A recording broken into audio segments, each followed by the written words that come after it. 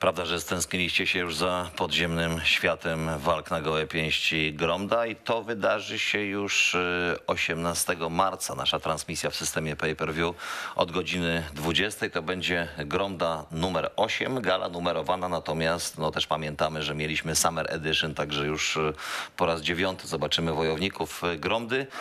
Strasznie szybko nam ten czas leci, bo jak sobie przypomnimy, to pierwsza gala czerwiec 2020 roku i za chwilę będziemy, będziemy świętować dwulecie. Tak, no bardzo szybko faktycznie.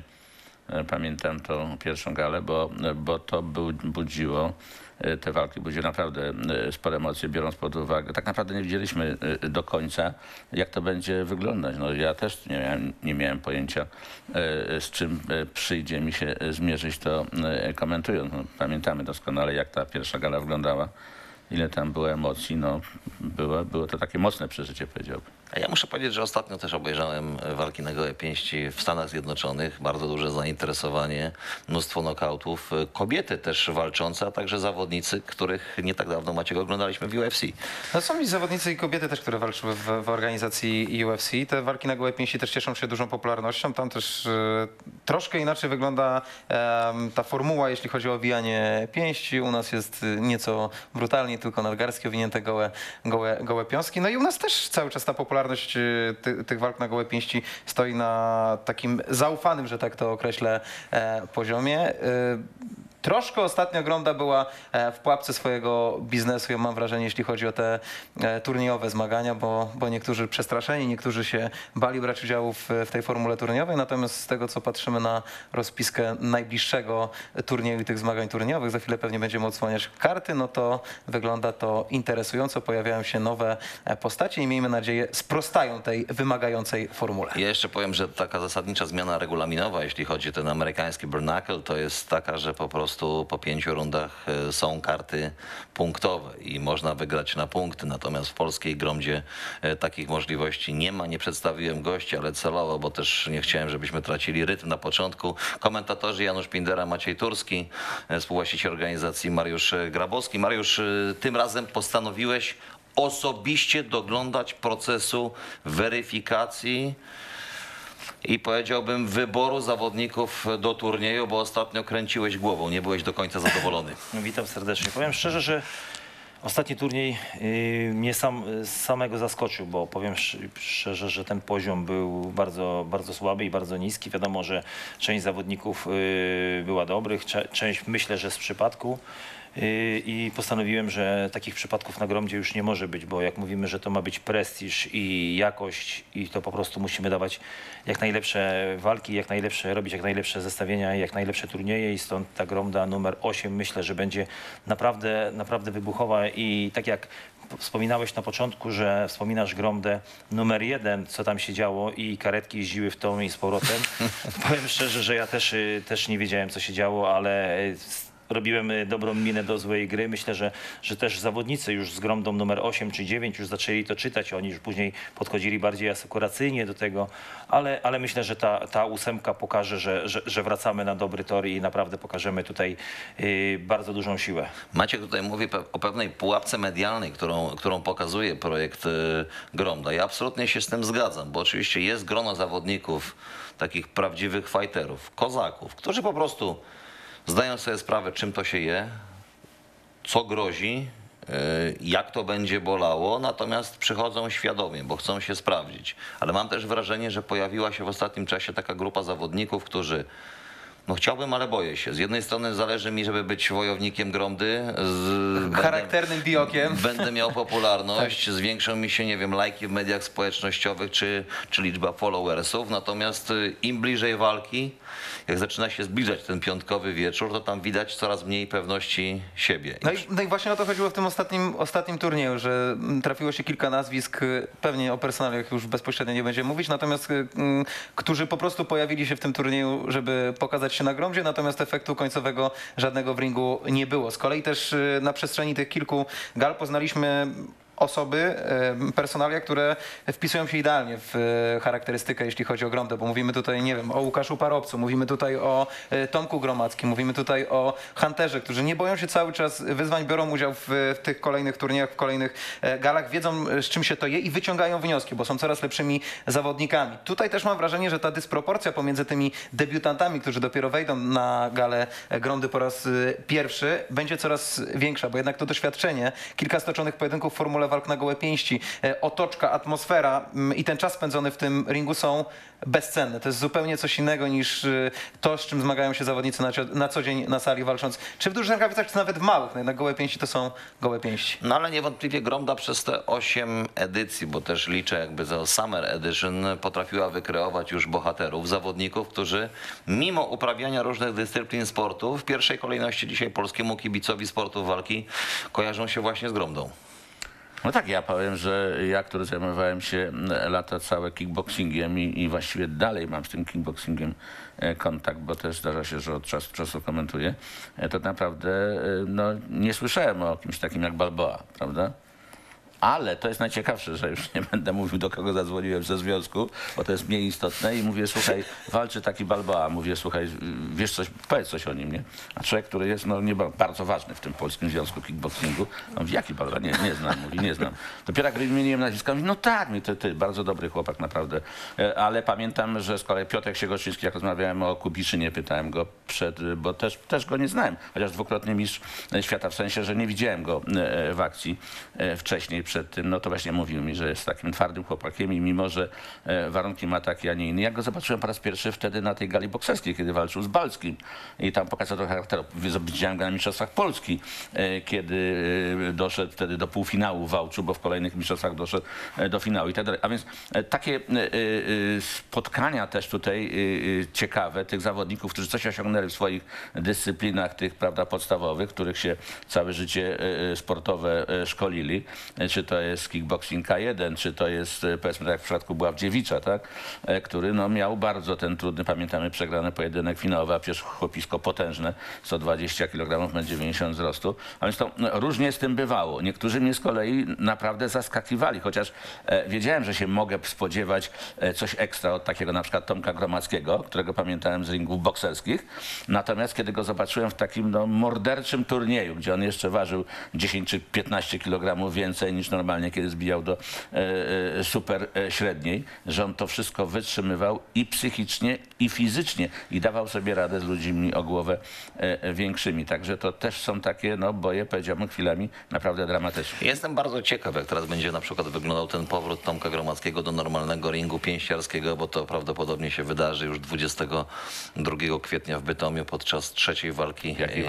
Jonaka z Robinsonem. No zobaczymy jaka waga. Chyba nie cruiser. Raczej do półciężkiej zejdzie.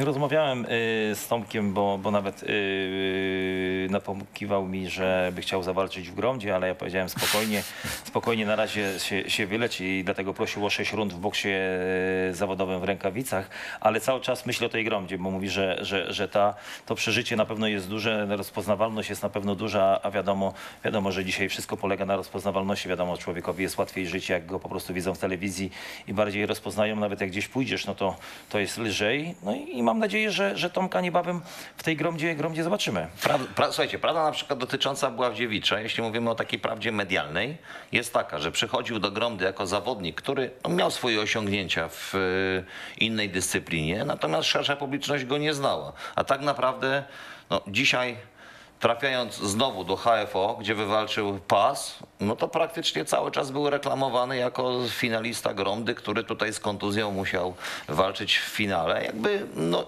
kompletnie szanując te wszystkie osiągnięcia sportowe, ale, ale jak się okazuje, no ci ludzie, którzy tutaj raz trafiają i coś zrobią fajnego, to jak potem się przesuwają do w inne miejsca, w inne troszeczkę dyscypliny, chociaż bardzo pokrewne, to, to od razu ludzie gdzieś zawodnika kojarzą, kim jest i, i jak walczy. No podobnie z Tomkiem Zadymą, który przecież w boksie też był zawodnikiem, który stoczył e, sporo, sporo walk, natomiast ludzie go i tak kojarzą tylko i wyłącznie e, z, z Gromdą. Ja jestem natomiast ciekawy tych transferów w drugą stronę, bo mówiliśmy o zawodnikach z innych dyscyplin, e, którzy którzy sprawdzają się na gołe pięści, natomiast też mamy takie przypadki, nawet podczas tej gali nadchodzącej, zawodników, którzy z gromdy poszli na przykład w boks. I tutaj mówię o Łukaszu Załusce, Brodacz. Brodaczu, na przykład e, Patryk Tołkaczewski, e, Gleba i ponownie ich zobaczymy w walce na gołe pięści. Ja się zastanawiam, e, jak ta specyfika walki w dużych rękawicach wpłynie na ich dyspozycję znowu powrotu do walk na gołe Ale pięści, Gleba, czy ale to będzie... pamiętaj, że Gleba nie był jedynym, ale Gleba miał tam e, naprawdę e, fajny początek Ama- kariery amatorski, bokserskiej, tak. amatorskiej. Ja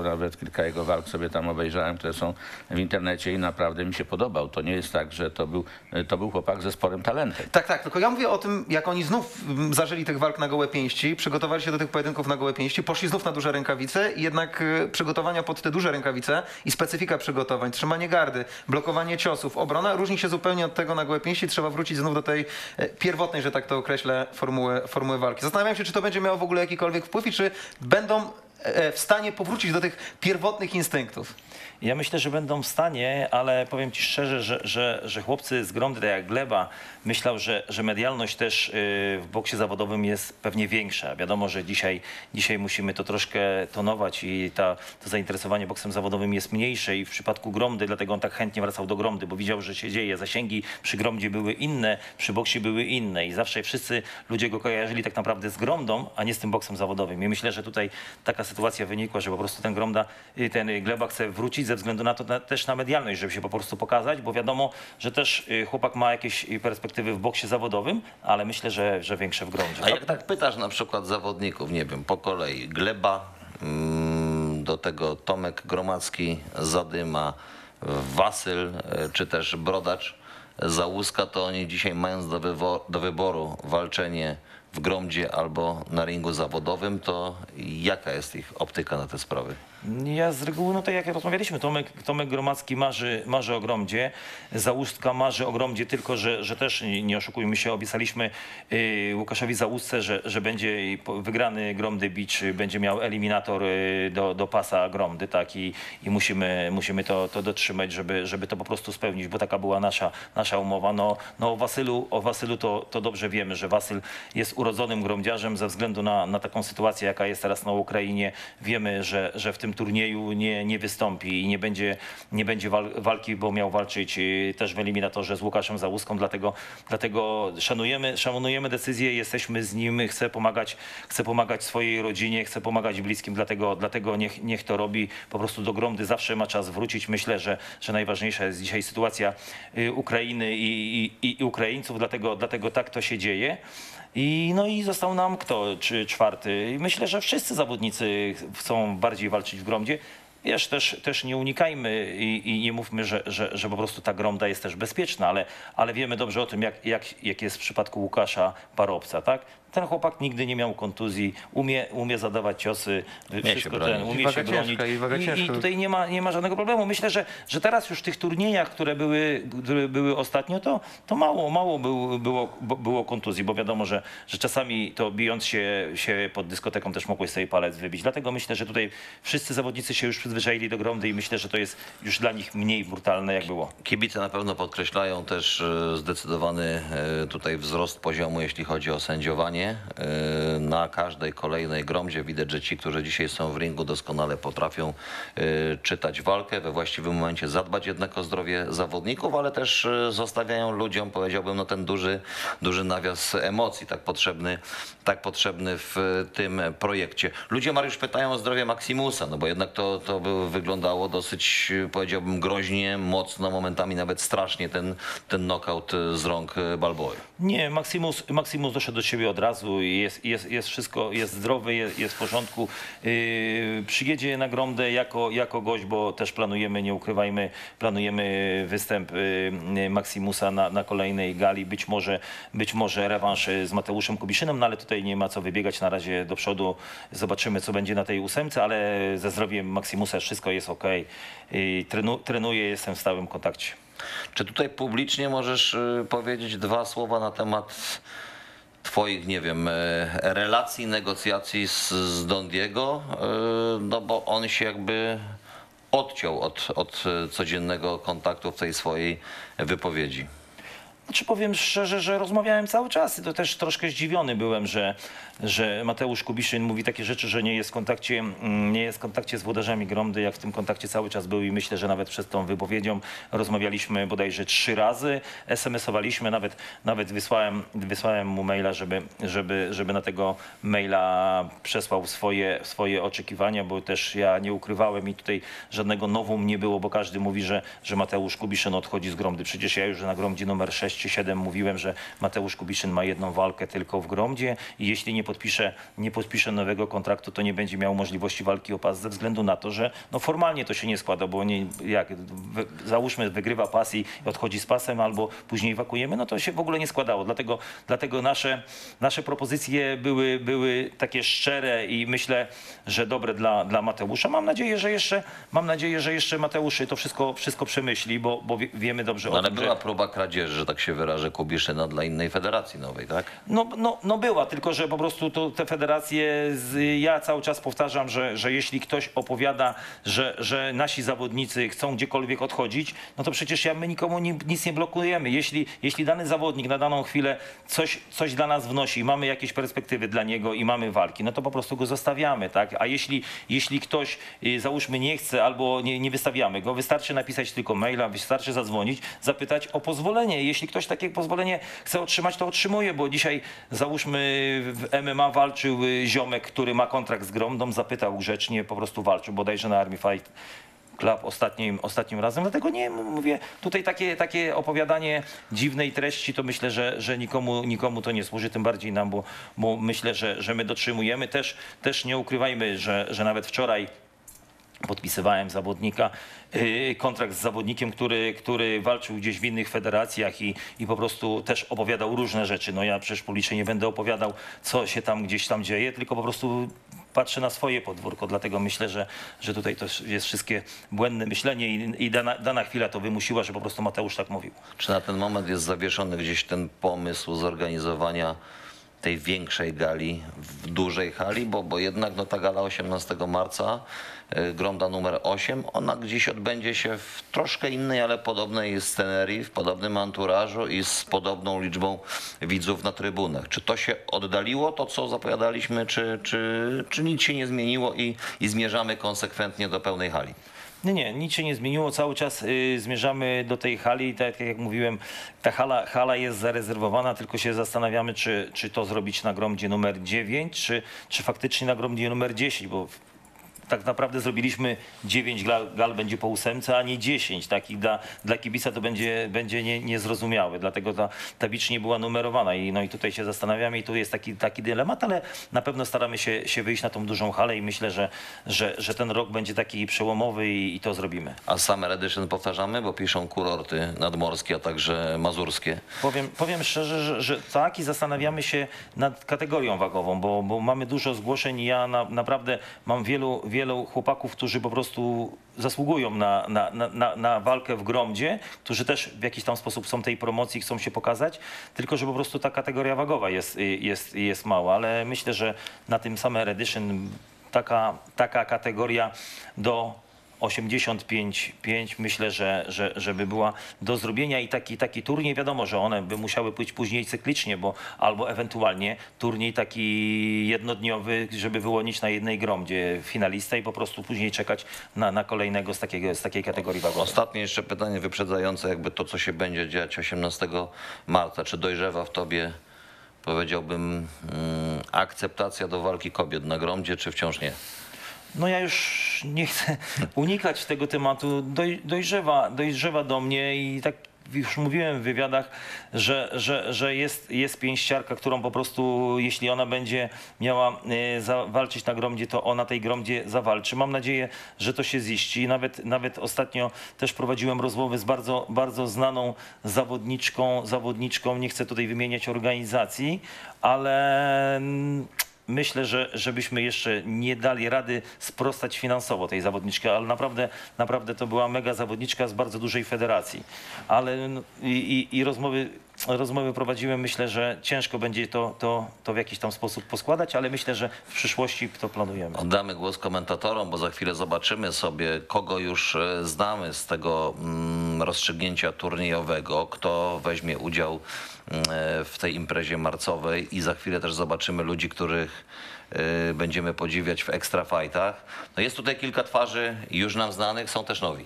E, Dokładnie tak. No jest e, Kapo, którego ostatnio widzieliśmy w dobrej odsłonie. Naprawdę chłopak, który widać, Reaktywacja że... Capo. Tak, to, było, to, było, to była wersja Kapo 2.0. Jesteśmy ciekawi, jak wypadnie w tych zmaganiach turniejowych. Odkuł się, mm, chciał takiego pojedynku na wyświeżenie, odświeżenie i, i faktycznie ostatnio to wyglądało e, pozytywnie. Mniej pracy miał e, tym razem człowiek od wymyślania pseudonimów, bo w przypadku Ziomka i Złotego to są ich chyba prawdziwe nazwiska, także to są chłopaki, na których warto zwrócić uwagę. Ziomek z doświadczeniem amatorskim, zresztą niedawno nawet toczone walki pod koniec zeszłego roku w boksie olimpijskim. Złoty to człowiek e, z Trójmiasta, e, chłopak, który też miał e, za sobą karierę czy w kickboxingu, przede wszystkim w, w kickboxingu i też to sportowe zaplecze, także ja bym tutaj się skupił na tych dwóch postaciach. No jest też Romuś, jestem ciekawy tego Romusia, bo ta jego zapowiedź i, i wysłane CV bardzo interesujące, nie będę cytował, no ale pewnie, pewnie jeszcze się zdarzy okazja, żebyśmy pocytowali tę jego zapowiedź, także dosyć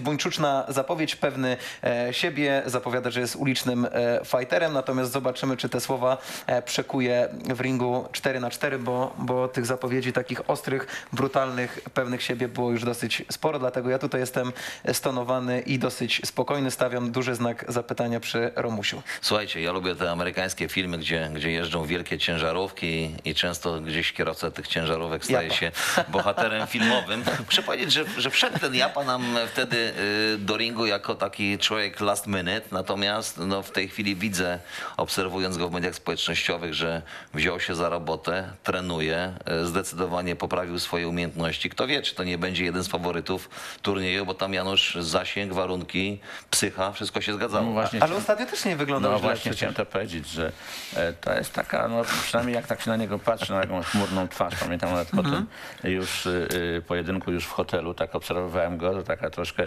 powiedziałbym y, wizerunkowo mroczna postać, natomiast w ringu nieobliczalny. W ringu nieobliczalny, bardzo trudny, bardzo niewygodny, bo to pokazał przecież w tej walce z Maximusem, którego posadził na, na dekach, prawda? Nie Tak. boi się. Proszę? Nie boi się. Nie boi się, no ale wiesz, ale mówię, przy tym jest, ma i warunki fizyczne, ma uderzenie i jest taki, powiedziałbym, no plastyczny, elastyczny. Taki, Musiałem właśnie powiedzieć, że taki mm, biały murzyn. no taki troszeczkę, wiesz, jak, jak wąż, prawda? Ciężko, Wije się ciężko, wąż. ciężko tak, dlatego myślę, że e, jeżeli tutaj jeszcze, e, bo to jest te walki pokazały m, e, w tym, w tym, mimo że tak mały ring jest, prawda, ale jednak intensywność tego pojedynku i też e, adrenalina, jaka je- jest przy tym wszystkim powoduje, że e, wielu zawodników, e, szczególnie takich, którzy są nie przyzwyczajeni do takiego e, normalnego katorżniczego, mądrego treningu, ma problemy z wydolnością, prawda, więc tutaj to jest szalenie istotne, szczególnie jak dochodzi tutaj do tej rundy, e, która jest nielimitowana e, e, czasowo, no to wtedy tam dzieją się już rzeczy, jak pamiętamy, no czasami naprawdę e, e, dramatyczne. Cie- Ciekawy jestem zawsze tych ludzi, którzy mają za sobą taki background e, sportowy. Więc z jednej strony tego Adama Ziomka, który ma za sobą trochę walk, nawet całkiem sporo, prawda, bokserskich w kategorii e, super ciężkich, pieściarz z Rzeszowa. Natomiast bodajże tam 35 zwycięstw, 18 e, porażek. Ponad 50 walk. Tak, ponad, dobrze ponad 50 walk. No i z drugiej strony mamy tego kickboksera Wiesław Złoty, który jest takiej wadze właśnie 90, y, waży gdzieś tak 91, czy więcej takie parametry jak Balboa, prawda?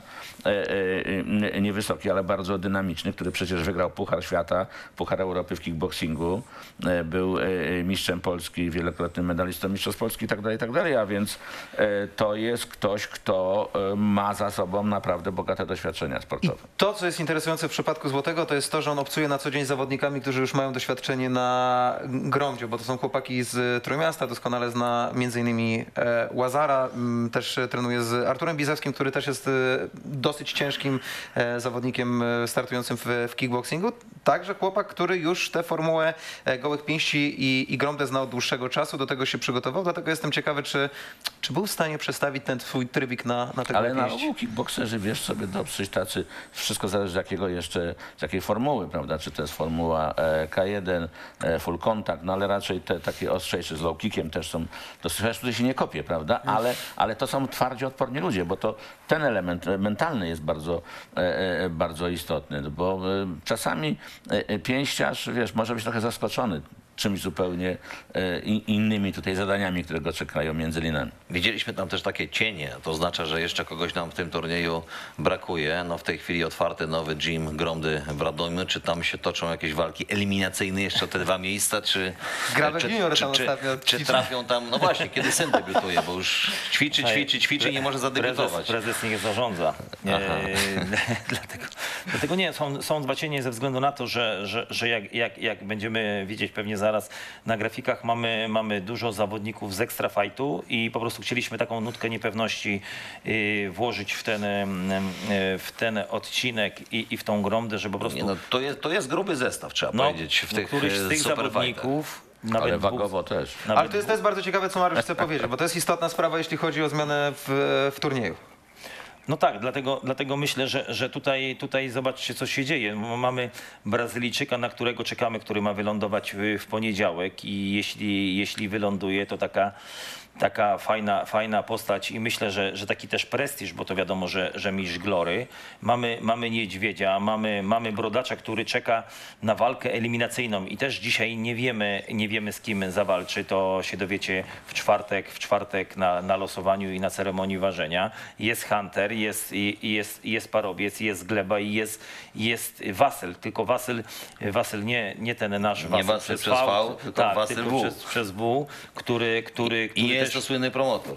tak, i też Nie ma, jest to piłkarz. I też ma doświadczenie, doświadczenie w walkach na gołe pięści, dlatego, dlatego jestem bardzo, bardzo ciekawy tego turnieju no i, i tych, tych dwóch zawodników, którzy, którzy tam, tam do tego turnieju wejdą. Ja nie, ja nie powiem, że, że my tego, tego nie wiemy, no ale myślę, że dla kibiców to taki dodatkowy smaczek.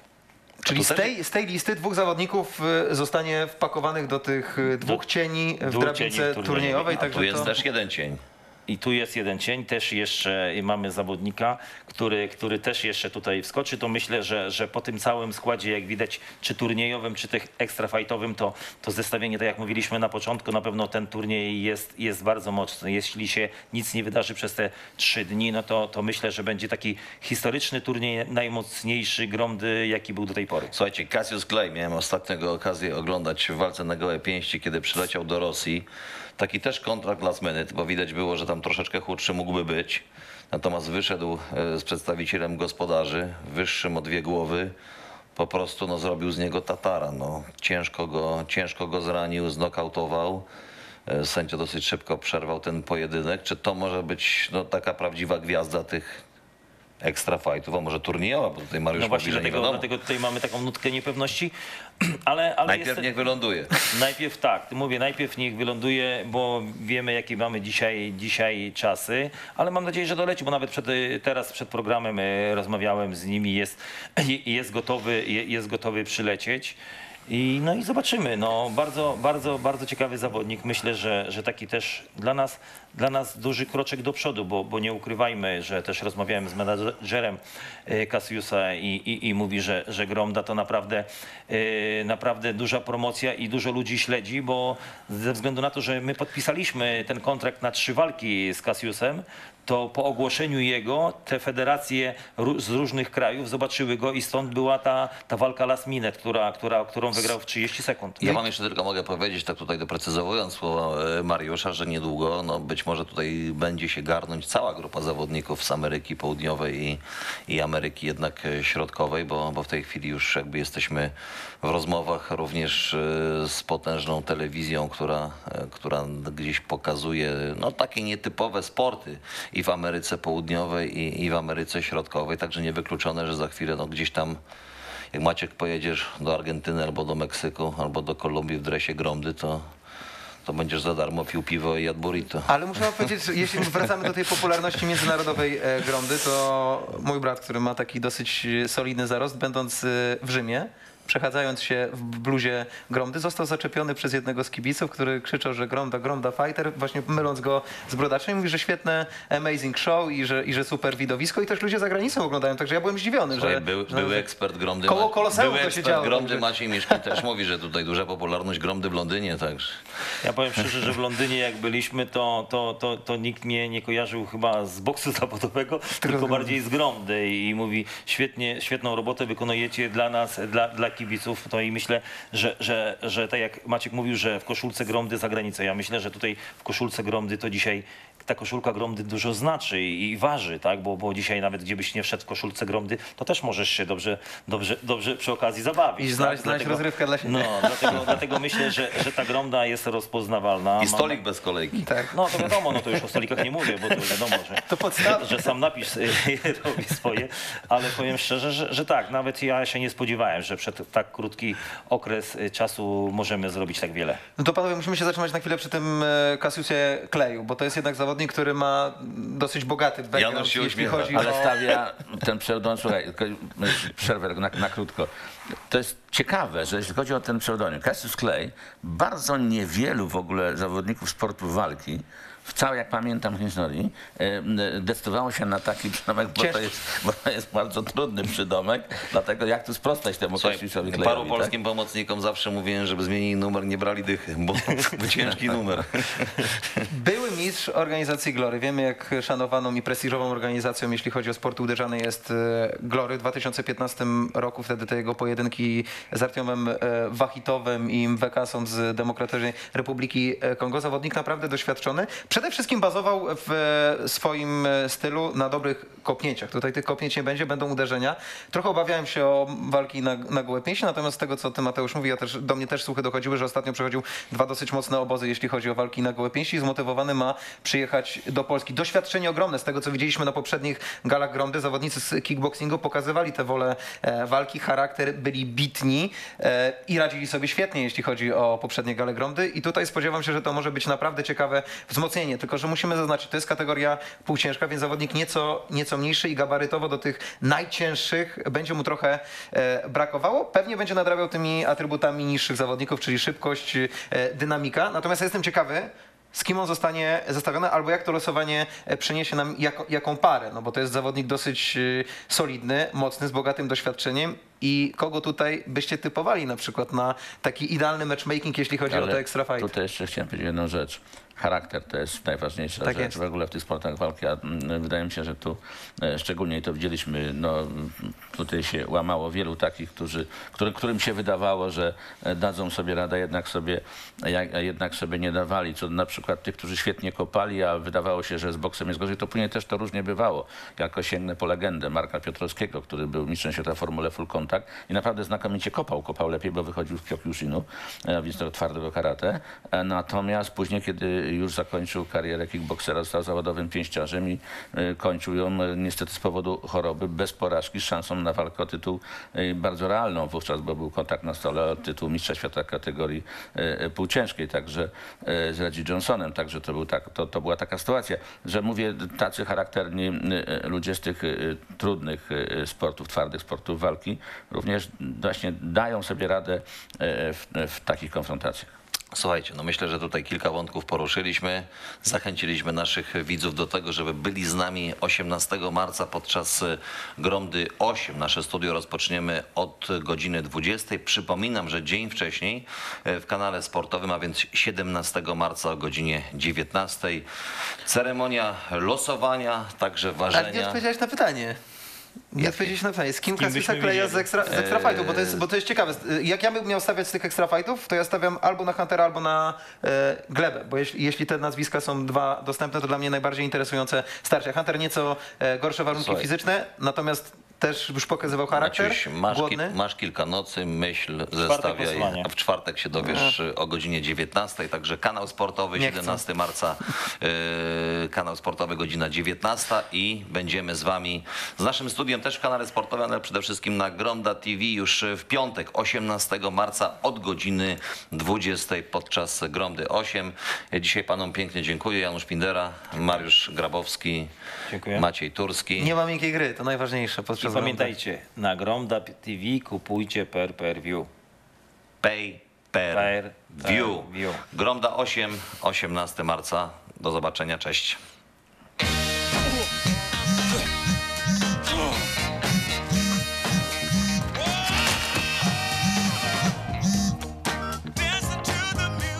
Kiedy? Gromda. Nie ma miękkiej gry.